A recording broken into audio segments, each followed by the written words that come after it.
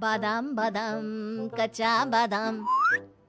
ये बादाम मांगने के लिए बहू को गाना चलाने की क्या ज़रूरत है?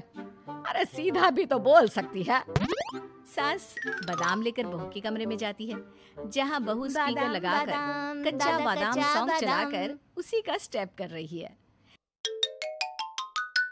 हे भगवान ये आजकल के गाने और बच्चे। काचा बादाम बादाम बादाम काचा बादाम मम्मी जी ऐसे नहीं। बादाम बादाम